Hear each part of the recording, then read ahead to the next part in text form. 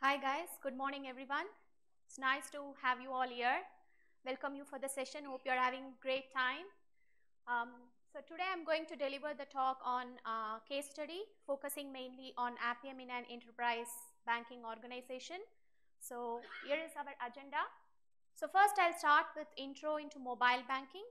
Then we'll go through the uh, challenges what we have faced in an enterprise banking automation and how we have overcome those challenges the solutions, and then our continuous integration journey with mobile automation. So before actually getting into the topic, uh, may I know like who are actually involved in the mobile automation right now or any mobile testing? Okay, it's just very few.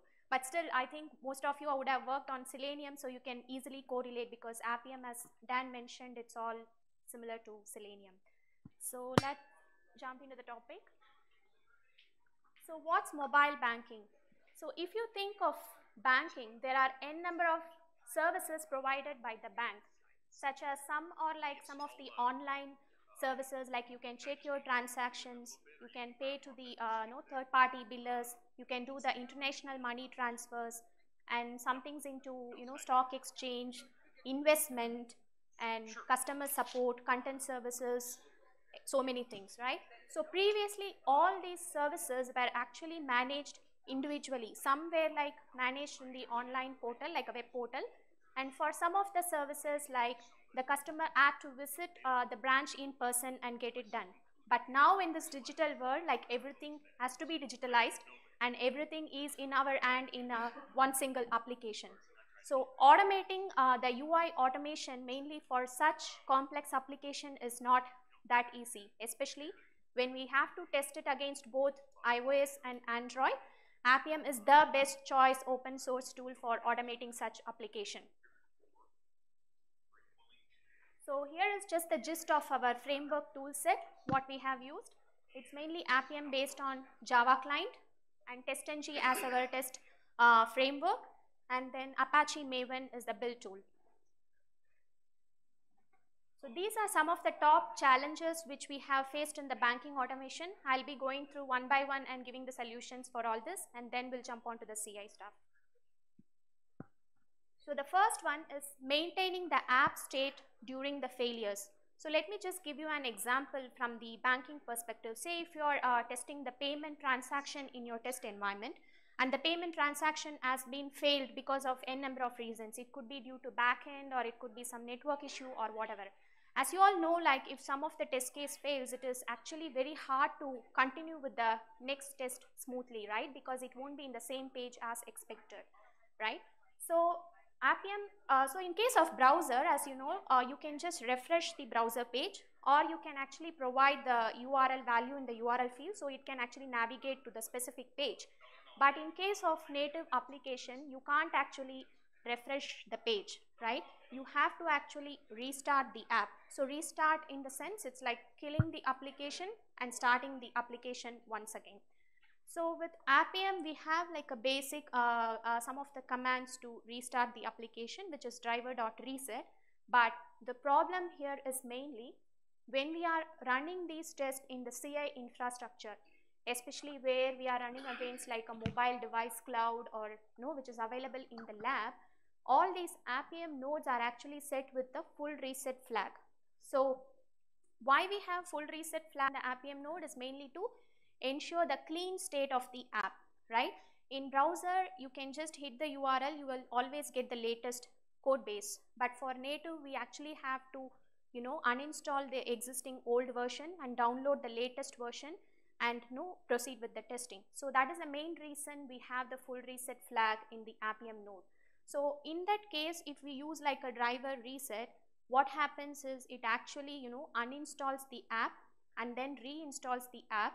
So it basically starts from the starting, especially, uh, you know, in the financial application and all, if I need to go through the payment scenario, I can't just directly get in because first I have to go through the user registration. So it is by providing user ID password and then it comes up with like a OTP verification to a mobile and then you have to set in some of the authentication process accept the terms and conditions so there are n number of screens you know you have to go through So in that case, it is like a long time consuming process if the test case fails, right? So what we can actually do here is, so we can write a small set of method like a uh, no handle failure. This basically gets executed after every test. So it will first check the status of the test. If the status of the test is failure, then it actually quits the driver which basically you know kills the existing driver session and then it calls launch app session. So launch app session is nothing to create the new driver instance, right? So first time when we are starting the test, when we launch the session, we can just pass app restart as false, but especially during failure, we can pass app restart as true. So when we pass this app restart value as true, what it does is it sets the capability of no reset flag to true. So now it is actually, you know, even though in the Appium node it is full reset, especially during the failure, we set the no reset to true and all the remaining other capabilities, you know, remain intact and then we launch the driver session. So in this case, it will just launch the app without uninstalling the app and it can just go into the main screen like a login page. We can just log in and continue with our no test case. So it, it actually saves a lot of time doing this. So we have uh, used this solution mainly for only for iOS. We can actually use the same thing for Android, but in Android there is even more easier solution. So in Android, each of the screen is actually associated with something called activity name, but in iOS we don't have such things. So if we specify the activity like basically the app package and the activity name and then if we start the specific activity it goes to that screen. For example in our case welcome page as something called uh, no welcome activity and login as something called login activity registration as something called registration activity so what we can do here is in case of failure just start only the login activity so it goes to the main login page and we can just log in and proceed with the next test So the next uh, challenge is the complex app flows. Again in banking there are n number of complex app flows but I've just taken couple of examples here. The first one is the SSO jump. So SSO is basically uh, you know the single sign-on which actually deep links from the native application to the browser. For example, in my application we have something called you know my contacts and if I click on that link it takes to the browser and we can do all the verifications and we have to actually come back to the native application to proceed with the uh, you know next test. So there is no specific uh, steps in Appium to navigate from native to browser because just by tapping on it, it automatically navigates to the you know browser. And with the usual commands, you can actually you know verify all the stuffs in the browser. But the challenge is mainly how do we come back to the native? That's the main challenge. It is pretty simple in Android because in Android we have a back button and we can just invoke this you know key code 4 is the equivalent key code for the uh, back button in Android. So if you just press that, it comes back to the native in Android. But in case of iOS, there is no such things. So how did we solve this in iOS? So in iOS, each of the native application has got something called scheme name. Okay. Uh, for example, if you are an iPhone user, just uh, I mean go to your Safari browser and if you just type in SMS colon double slash it actually opens up the alert saying do you want to navigate to the messaging. So each of the iOS native application has something called scheme name. Mostly uh, you would get that scheme name from the iOS no, native code base. So get that scheme name and once you complete your verifications in the browser, you can just provide that scheme name in the browser URL and it just navigates back to the native. So the next one in the complex app flow is like switching between, you know, natives and like couple of native applications, right? So especially here I have taken example of switching between native and the settings app. So why do we need to first of all switch between the settings and our native? Before launching any application in your test environment, you have a requirement, you know, you have to configure some of the things, right? First you install the app, you go to the phone settings and configure something like selecting the environment or providing some values and then launch the application, right?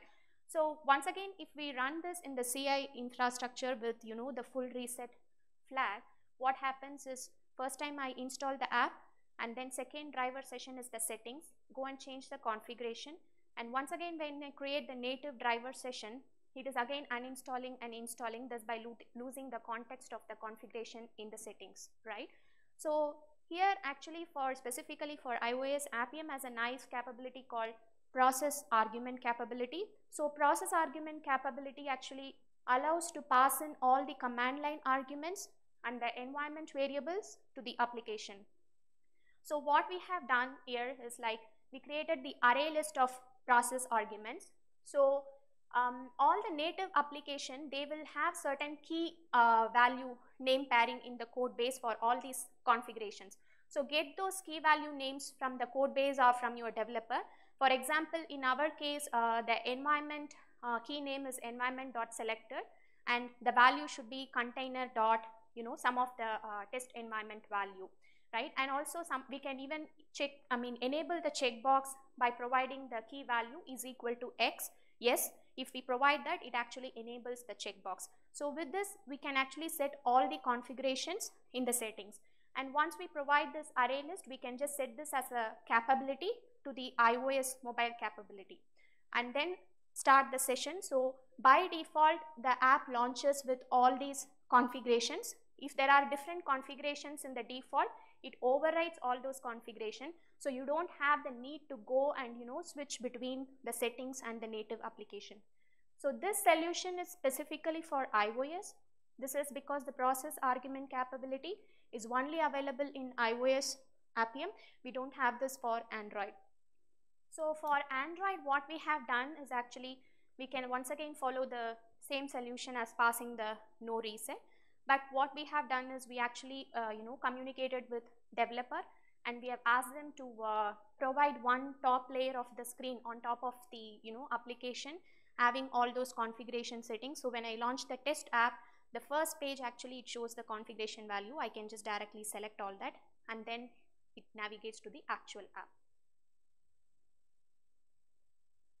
So the next comes the multiple application state. How do we handle the multiplication, multiple application state?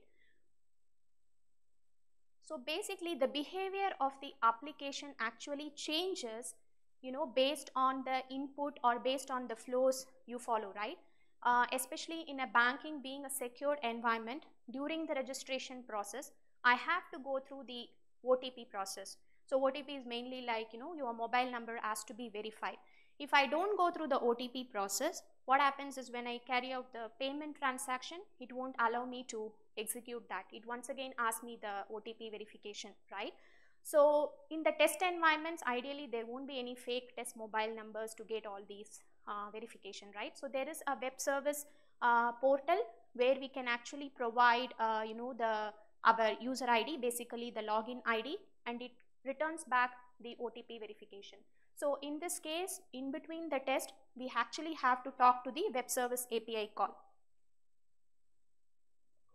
The next example is, uh, no, I just want to explain with one example like uh, if I run the same test again and again, it changes the behavior of the application.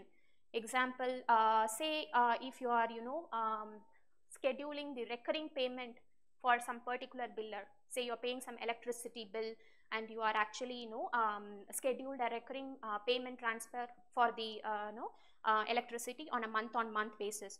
So today I have written the script, I have run it, it works fine, but next day it would fail. The reason behind that it has already been scheduled, right? So I can't reuse the same data again. So one way is like you can actually execute some of the prerequisite or the post requisite to go and delete those recurring payments.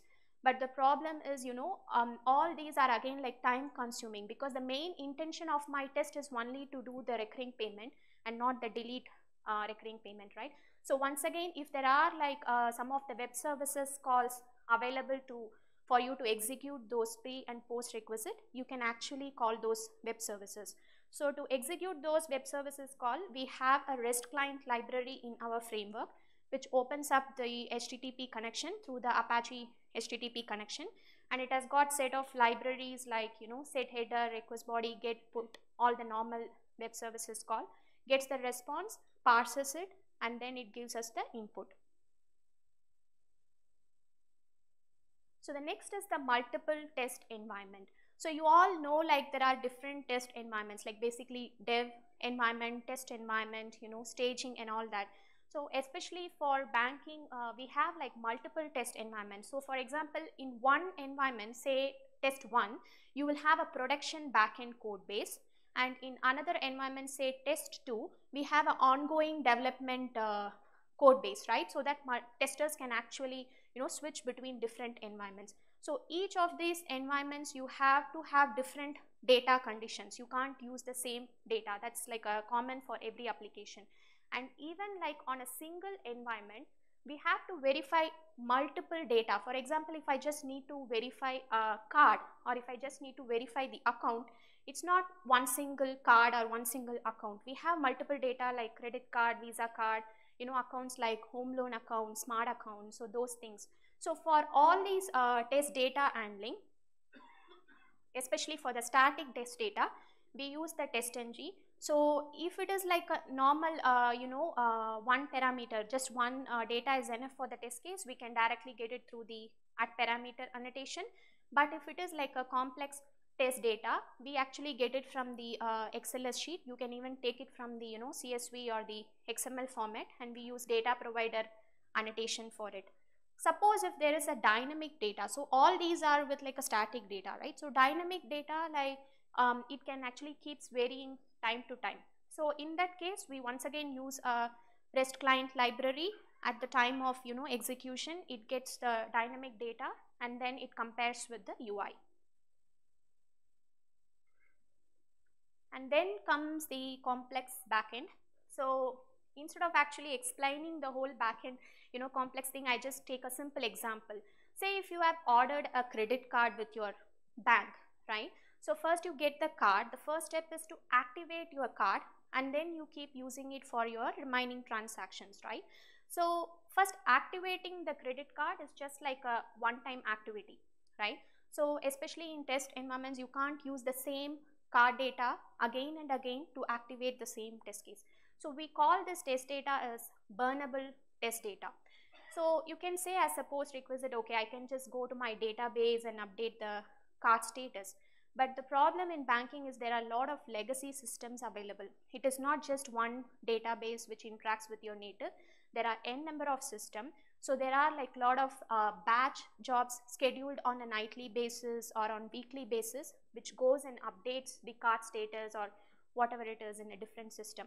So if I just go and update in one single database, it might work for like couple of times. But later after 3-4 runs, it actually corrupts the test data and we as a you know tester in a specific project we won't be actually knowing where all downstream channels it is connecting to it's like a big nightmare actually so in this case what we can do is we use an API mock server which is based on the node.js server basically we can track all the request and response from the fiddler or from the Charles proxy and then we can stub those request and response in the mock server so the advantage of the mock server is with the same data actually it, uh, you can create n number of rules.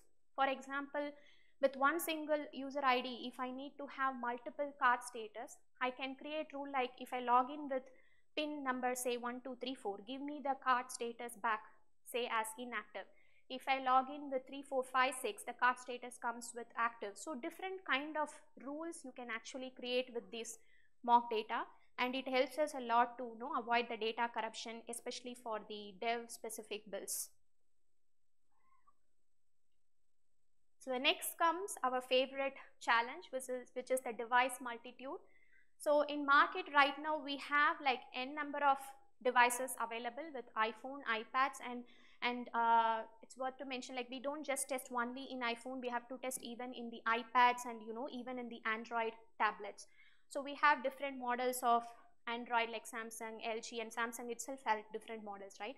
So how do we achieve running all these devices in the CI environment? So I'll just start with a simple CI goal, which every one of us is aware. So the CI goal is the developer checks out the code and then you know it initiates the dev build pipeline. Once the develop um, app is being generated, then it initiates the test build pipeline. So the main challenge is like executing the test, which is what we are going to discuss now. And after the execution, it generates the report and sends back the result to all the stakeholders. This is a normal, simple CI goal, right? So how did we achieve this in the CI environment? So for us, before even started with the, uh, you know, when we started with the automation, like we thought, okay, we can achieve it through Selenium Grid. Um, I mean, connecting to all the emulators and simulators. So we had different Appium nodes configured on all the missions. We can even configure more than two, three um, nodes on the same mission running on the different port connected to, you know, um, Android emulators, two, three Android emulators and simulators. But we had a major challenge in executing this. The major challenges were uh, especially when you know when the test is actually getting launched, the emulator also gets reset and it would launch. We can avoid that, but it's especially ideal to reset the emulator because it would actually clear off all the uh, you know old uh, issues and all. So when it is actually resetting the emulator and it starts, it take lot of time to restart the emulator and also like if we have like more than three four uh, you know appium nodes running in parallel so when it is starting the emulator it takes longer time right? So it may just start like two emulators at a time and the third one it just gets stuck and it hangs on. So we can't actually continue with the execution. And with iOS now with the recent version we have the capability of running multiple simulators in parallel. But the older versions it was not even supporting the you know parallel uh, execution of simulators on a single machine. And another main challenge is like the advanced interactions like you know the touch action, flick, scroll, all those things it works sometimes you know in simulator it doesn't work sometimes and it works fine in the physical device and vice versa. And we also have seen some of the app crashes which happens in the physical device doesn't happen in simulator and even vice versa. So the main intention of us here is to test the physical device because the end user is actually using the device, not the emulator. So we don't have to worry about all this, right? So we wanted to migrate uh, to, you know, integrate with the physical device testing. So what we actually did is even before starting the automation, uh, we had the mobile labs in place for us for the manual uh, test execution as well. So in fact, Mobile uh, Labs is one of the uh, sponsor for the Selenium conference. They had a stall in Kalinga Hall. Um, so we have been using this Mobile Labs for quite a long time. We started with the manual testing actually. So it has something called, you know, um, in-house, basically it is like a in-house private mobile device cloud and it has a, a, manual cart like this where you can actually configure all the devices into the particular server and it has got a device portal wherein each one of us can create you know the login ID credentials and log into the system. There are different access level provided for the team. So once you log into the system, it displays what are the devices actually connected to this you know cart. So you can connect both Android, iOS or any device. So once it displays, you can actually physically grab that device. So instead of having it in your hand and testing the manual testing, you can actually you know the device gets displayed on your laptop or the machine and you can actually do all the normal interactions what you do you know uh, on your hand. So how did we achieve automation from here? So Mobile Labs is giving a flexibility like has uh, provided a software application called Device Bridge uh, which is like a EXE for Windows and it has a DMG for Mac you can install the device bridge software on your laptop. And once you install it and log in with the you know the IP address basically your credentials and providing the MDC MDC is a mobile device cloud providing the IP address it once again lists all the devices. And if you click on connect what happens is it actually remotely gets connected to your laptop which is like you know physically connecting the device through USB so if you connect through portal the remote connection doesn't happen. You can just visually see and interact. But if you connect through device bridge, it actually gets connected, you know, remotely to your laptop. So if you do in your, if you go to terminal and type in ADB devices, it would list all the Android devices. And similarly, if you just type in instruments minus S devices, it would list all the iOS devices. So Appium can actually identify those connected devices so it can continue with the automation. So this is how our CI infrastructure looks like. Uh, we have a TeamCity um, CI integration which is similar to Jenkins. So it is the enterprise uh, CI tool and from there it can talk to Selenium Grid. So in Selenium Grid we actually have configured different missions like uh, different virtual missions and also the Mac minis and each of these missions have a device bridge software installed on it so through device bridge, it can connect to the mobile labs and get all the physical device connections. And each of the node, I mean each of the missions we also have configured the Appium nodes. And through the node config and these Appium nodes in turn actually points to physical devices. So in emulator we can have maximum of you know 3 to 4 connections. And once again it is very difficult to uh, when you are running in parallel it doesn't launch properly but here for the normal uh, system configuration, you can have up to 8 to 10 devices connected to the mission. And if you have a IN configuration, it, you can even go up to like 13 to 15 devices on per single mission. So you are actually increasing, you know, the parallel runs. So that's the main advantage here. So combining the framework and the CI, this is the this is how the infrastructure looks like, architecture looks like. So based on Apache Maven is our build tool, we use Appium Java and I haven't talked about the UI object repo because most of you are aware of it. So we all place all the UI elements in the object repository for both Android and iOS and TestNG is our, uh, you know, for the static data and REST API is for getting the dynamic data. And once again here, TeamCity talks to Selenium Grid, in turn talks to Appium nodes, and then it connects to the mobile labs. So the main benefits of this, what we are getting is like a wider device coverage.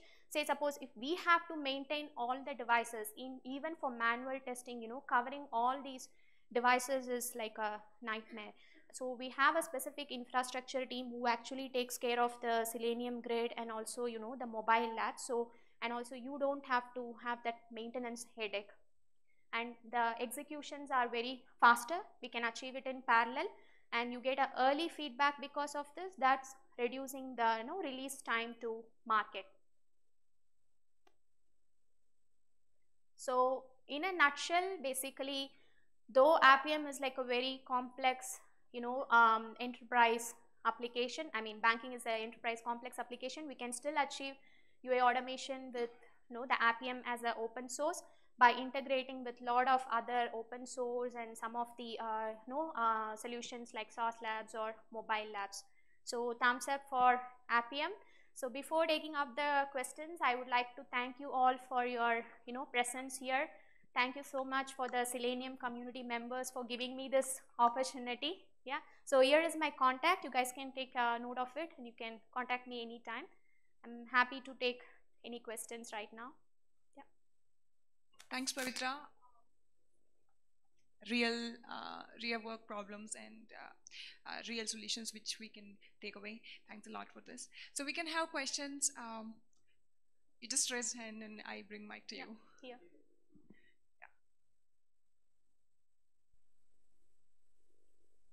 it was a wonderful uh, slides and presentation actually I just go through uh, go back to the previous slides uh, before that uh, labs before that before that before Yeah. that Yeah.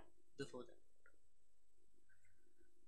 okay uh, here you have uh, mentioned one thing uh, Yeah. i remember like uh, you said like while uh, launching three or four simulators from your mission Yeah. you will face a hang up of third simulators or fourth simulators Yeah. but how uh, the mobile labs is handling that uh, say for example even i have tried uh, to launch three more simulators in the same uh, VM or in Mac Mini, how it is handling. So basically in mobile labs, we are not handling with simulators or emulators, right? It is basically a physical device.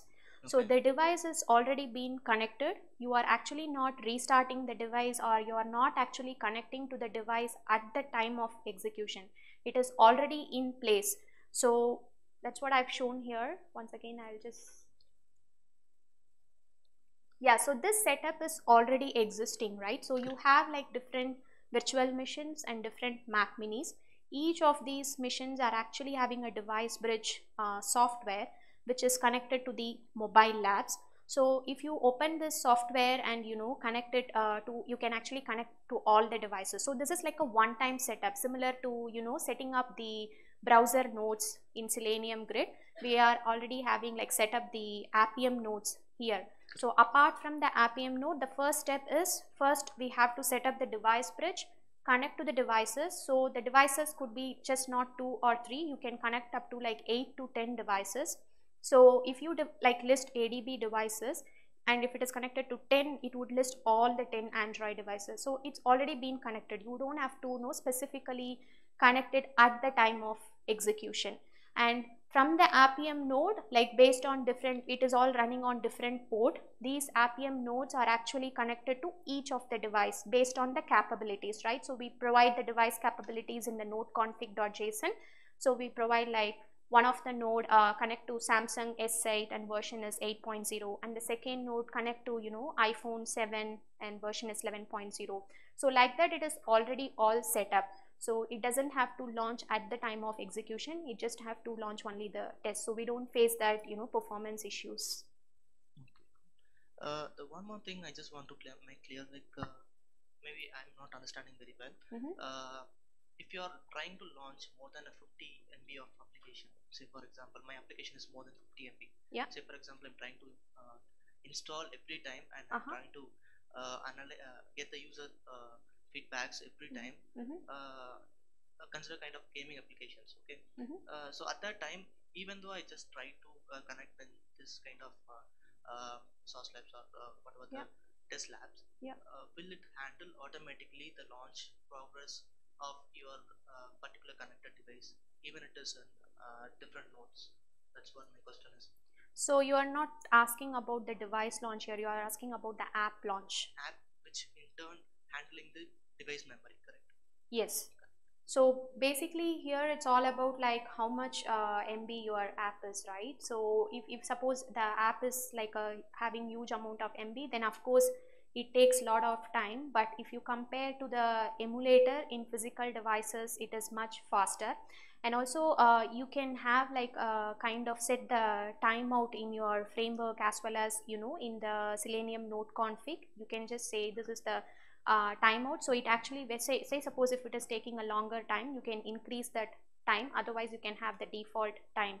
Uh, but yeah I don't have a specific answer for this but uh, what we have seen is like in such cases we know usually inform the developers and ask them like why it is taking a lot of time to launch because these scenarios doesn't happen only in the Sauce Labs or mobile labs right? Even in your local execution it could even happen because it is all about the uh, you know app app MB so in that case you have to speak with your developer to see like what is actually causing that delay and get that sorted out. To add to this uh, que question basically like just Pavithra said yeah first thing I would do is why the hell it is taking so much time on launch? So I'll be actually filing a bug against it and I want yeah. to be, to be fixed before actually I go and automate. And second thing um, if if I have to bear with it so the like in last slide Pavithra said we can go for uh, no reset in the next runs basically then we can save time while automating. Yeah, especially on your local runs you can have the no reset but I don't suggest on the CI runs especially when we are starting the app because every time the main purpose of testing is to you know get the new, new version of the build and then install so we do the no reset only you know when we are restarting the driver in case of failure otherwise it's yeah. not advisable yeah. yeah can you explain more about the UI object repository you were talking about in the yeah. last slide? Yeah. So basically, uh, I know many of us here actually follow the uh, page object model. This is something similar to it, but we don't have a specific page object model as such because what a disadvantage I have seen here is basically, um, say suppose there is a common um, close button or a submit button, right? And say if the ID or the accessibility ID is a close and it can be present in different screens, right? So if you go with the page object model, you have to define this close button for each and every screen, right? So instead what we do is like um, we created a properties uh, under like a UI element package separately for Android and separately for iOS. And so these properties basically contains the locator name and the values. Uh, for example, in this case, it has a locator name called close underscore button and the value is id comma the unique id or xpath comma whatever it is. And in our framework, what we do is using the Java reflection concept at the runtime, uh, you know, we specifically go and grab that property from the memory. So based on the locator name, we map it with the value and then we go and identify it. So here actually it is helping us to, you know, maintain all the common property. So if the close button ID has been changed, it will be changed across different screens, right? So in page object model, you have to go and once again change it everywhere but in this case if I just change in one property file it gets reflected everywhere it is actually internally used by the uh, you know test case and also another thing is um, especially in the banking there are a lot of um, uh, elements like uh, reusable elements for example you know in the account uh, screen um, you, you will not have a specific ID values right say if the account is like a home loan account and smart access account so we usually identify through the XPath. But it is not ideal to go and define this XPath for each of the accounts. It's like again, you know, too much of maintenance, right? So in case of Android, we say like Android widget text view and we give uh, something like a dollar value in the property file. So what we do is from the data sheet, we actually provide the actual account number or the name and during the execution, it replaces the dollar value from the uh, data sheet, the value what we have taken and it replaces and makes the XPath as like Android widget text view, smart access and then it finds it. So it allows us to maintain also know the uh, UI elements very easily. Yeah.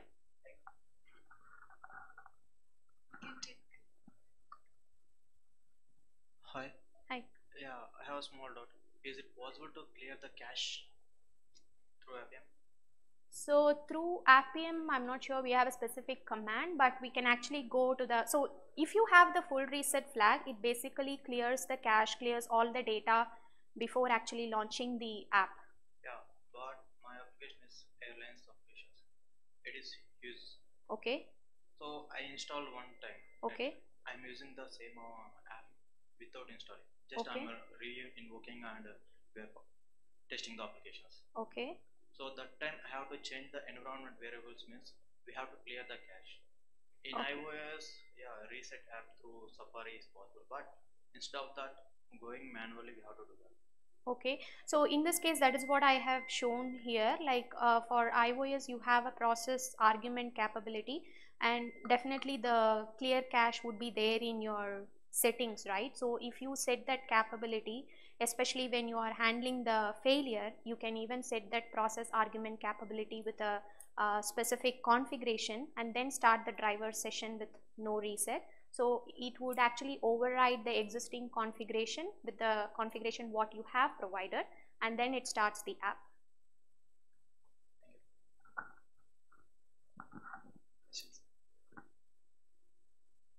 Is there any way to view the live execution? Sorry? Is there any way to view the live execution? Live execution. Oh, I don't have a live demo actually here, uh, but I can explain. So, so do you want me to explain the CI uh, execution Yeah, once again? Yeah, sure. So what we do here is, as I mentioned, like TeamCity is our enterprise CI, right? So what we have done is, uh, we have a standard uh, dev jobs in the CI pipeline. So for our test build pipeline, we actually create a, a dependency with the dev build job, right? So after the every run of dev build job, it can actually trigger the test build pipeline. But in terms of UI automation, no, you don't have the need to test for each and every build because we almost get like 8 to 10 builds per day and it doesn't make sense to test it that many times.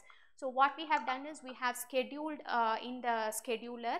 So it runs on a nightly basis and it takes uh, you know uh, the latest build from the dev build pipeline. So how it takes the latest build is basically based on the dependency what we have created, right? So if you provide dependency dot dev build number, it actually returns the latest build number.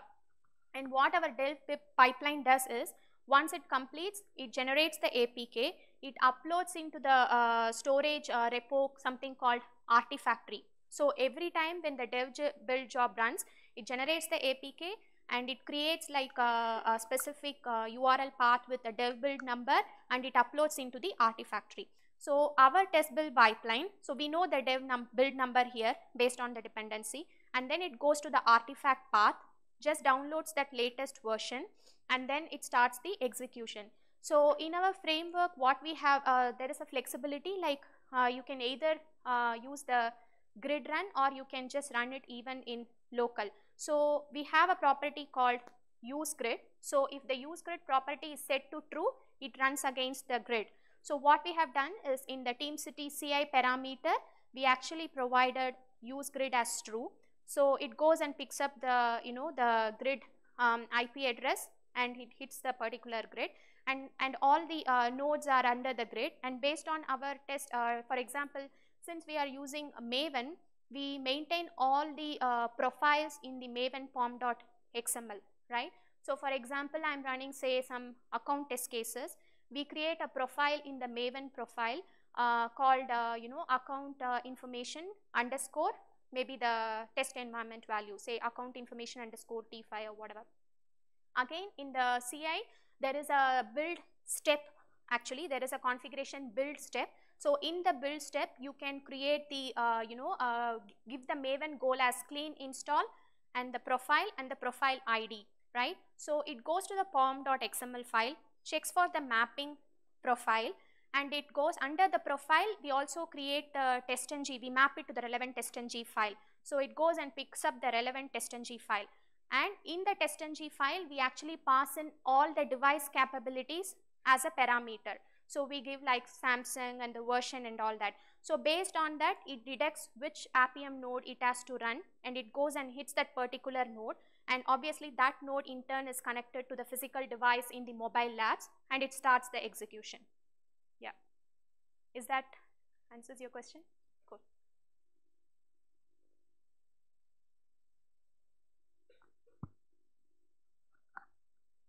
Oh, my guru is here. Hey, Pavithra. So, just to mention, like I worked with uh, Krishnan like quite a long time before, back in 2010, 11. I was new to automation and I used to bug him a lot to ask a lot of questions. Thanks a lot for that. Yeah. So uh, I had a specific question about on the mobile labs that you have been using, right? Yeah. So uh, you mentioned that you know, I mean, you would probably kick off the device bridge binary Yeah. on each of the the Mac Minis or whatever, Yes. and that basically establishes a or or kind of like I mean does like a remote USB port forwarding kind of a thing, wherein Yes. it lets me access a device that is sitting on a remote machine, which is basically the mobile Call. labs trolley Yeah. Yeah. and i and you know I get to experience it as if it is basically connected to my local machine Yes. right Yes. Yes. so um uh, when you are spinning off your Appium right so uh, how does you know i mean uh, how do you basically map when i mean which Appium uh, server is mapped to which uh, which of your device or do you basically I mean put in the device id or whatever inside your uh, Appium configuration or how does it happen Yeah, so the first thing is like we don't actually spin off the Appium node during the execution time. It's already there in the Selenium grid.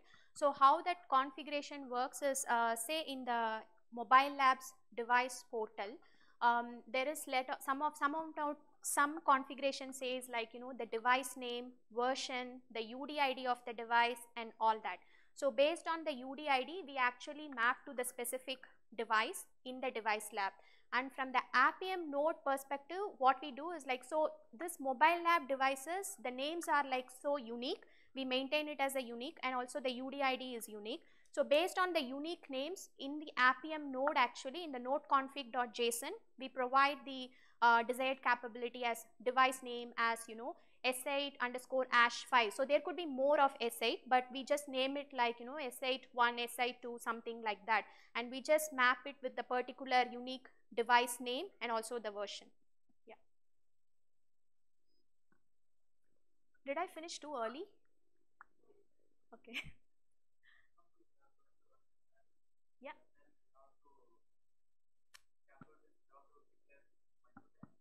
Yeah, so in in the TestNG what we can do is we can actually create some set of suits, right?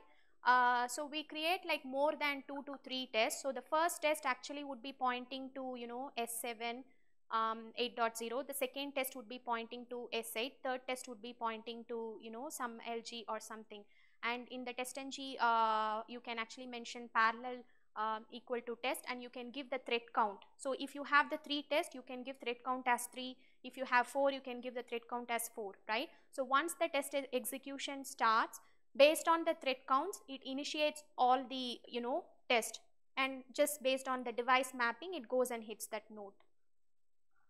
Do you want me to show the example of the TestNG or? We are running out of time? Okay. Yeah, we can discuss outside. So, uh, Dra, this was um, uh, uh, a lot of real-time insights we all face. So thanks a lot coming along uh, and sharing with us. So uh, up next we have uh, Thanks once again. Yeah.